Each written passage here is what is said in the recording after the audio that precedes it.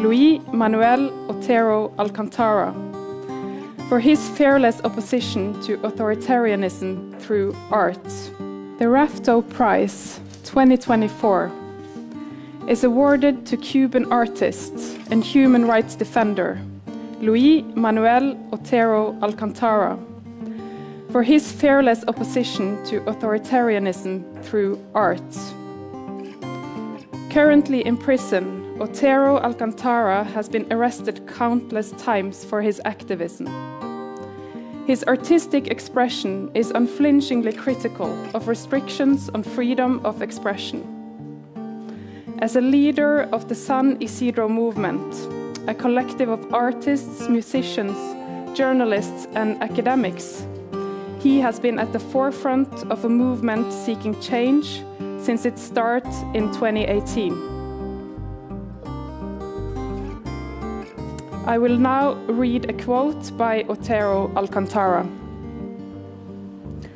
I love art and freedom above everything else, and the Cuban regime is taking away those two things from me. To the dictator on duty, I call upon him to yield to yield within his macho structure, because in the end, reason is on our side. This is not a struggle between machos. We are artists repressed by a dictator who refuses to yield due to a machista and patriarchal structure that prevents him from recognizing that the opponents are right. End quote. Luis Manuel Otero Alcantara is a 36 year old self taught Afro Cuban artivist. He comes from a poor and marginalized neighborhood in Havana and uses sculptural and performance art to protest against violations of freedom of expression. Otero Alcantara's sculptures combine materials found in collapsed buildings and waste containers to create human forms animals, and comic book characters, reflecting an ironic form of social and political criticism. His performance art has involved interventions in pu popular public spaces, displaying the artworks to be seen by all, in defiance of regulations. The performance piece Garrote Vil from 2021 references a weapon used to strangle a person as a means of torture, dating back to the 17th century. In the performance, Otero Alcantara remained seated for many hours with its hands bound by a garrote, a metaphor for the repression of freedom of expression in Cuba. Otero Alcantara is the general coordinator of the San Isidro movement, a constellation of artists, musicians, journalists, and academics promoting freedom of expression. The movement was established in 2018 as a reaction to Decree 349, which requires artists to obtain advance permission for public and private exhibitions and performances.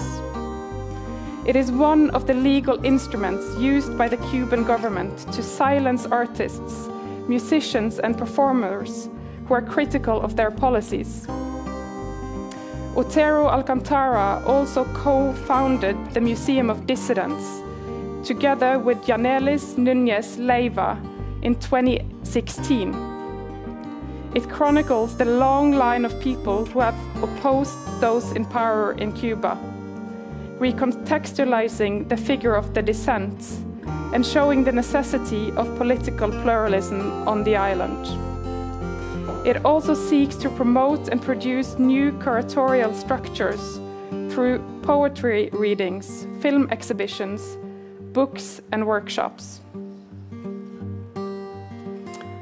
Otero Alcantara participated in the music video for the hip hop song Patria y Vida, meaning homeland and life released in February 2021. Twist on the national slogan from the birth of the Cuban Revolution, Patria o Muerte, meaning homeland or death. The song gained wide popularity and won the Song of the Year award of the 2021 Latin Grammy Awards. According to the organization Artists at Risk Connection, Patria y Vida is possibly the most direct criticism ever made of the Cuban regime. The song played a significant role in the rise of the protests that took place on 11 July 2021. These nationwide protests were the largest anti government demonstrations since the 1959 Cuban Revolution and came in response to the long standing economic crisis, shortages of essential goods, and severe restrictions on rights in the country. In response to the protests, the government imprisoned more than a thousand people and committed systematic human rights violations, including the use of arbitrary detention and torture.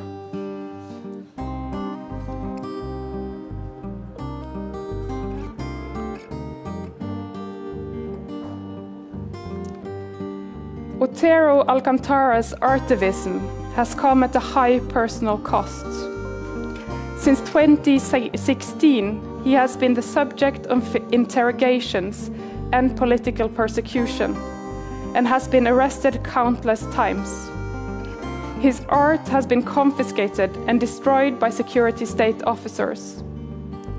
Despite this, he continued his artivism through performance pieces to raise awareness of Cuba's ongoing repression of independent artists and activists.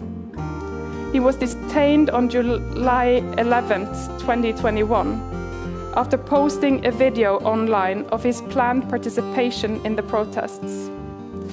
In 2022, he was convicted for contempt, public disorder, and insults to national symbols. The last of these due to his performance Drapeau in August 2019. He is currently serving a five year sentence in the maximum security prison, Guanajay, in the Artemisa province. Otero Alcantara and his fellow activists, including one of the artists behind Patria y Vida, Maykel Castillo, did not receive an open and fair trial, and the conditions they are exposed to in prison entail grave psychological and physical risks.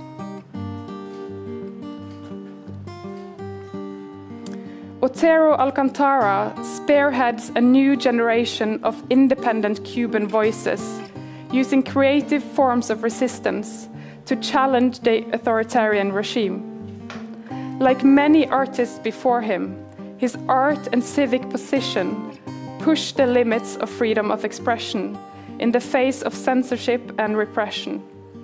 He follows a proud Cuban tradition of opposition through art.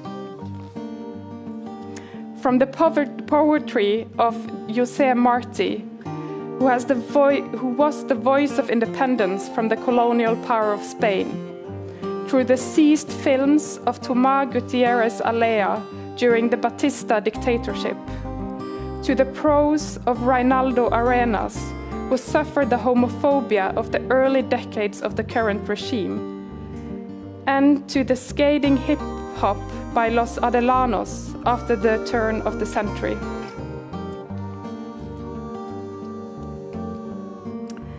Since the Communist Revolution of 1959, Cuba has been a one party authoritarian state. After the governance of Fidel and Raul Castro, the Communist Party has continued to reign through the current president Miguel Diaz Canel. Cuba has long been one of the countries with the least freedom of expression in the world. It was ranked 168 of 180 countries on Reporters Without Borders 2024 World Press Freedom Index, positioned between Belarus and Iraq. In an already limited political and civic space, the government responded to the widespread protest of 2021, legitimately calling for broader economic and political reforms, with an iron fist.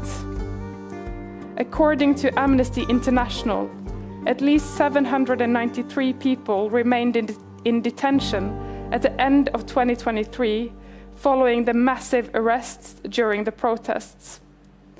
Human Rights Watch has documented torture and ill treatment of prisoners.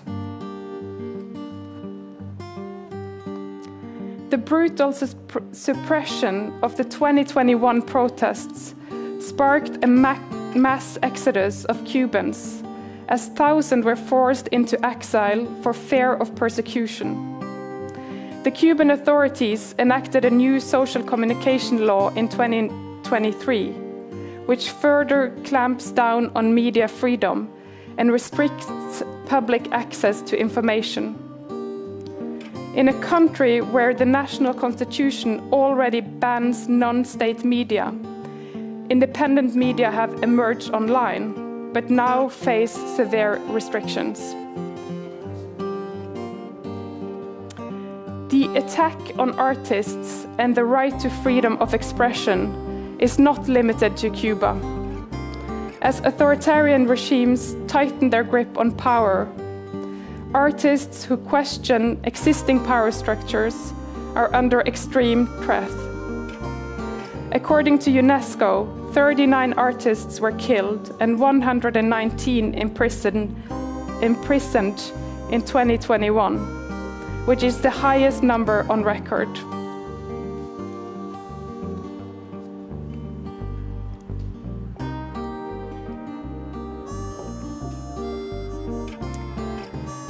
Expressing oneself through art is a basic human right. Throughout history, artists have tested the boundary of freedom of expression and challenged authorities on other human rights, often at huge personal risk. For a decade, Luis Manuel Otero Alcantara has directly confronted censorship and the institutional denial of his status as an artist, despite harsh government crackdowns. His work shows the power of art in resisting authoritarianism and is an inspiration to others in the artistic community. The Rafto Prize 2024 aims to highlight the importance of the work of Luis Manuel Otero Alcantara and other artists in challenging power structures and defending democracy and human rights, both in Cuba and globally.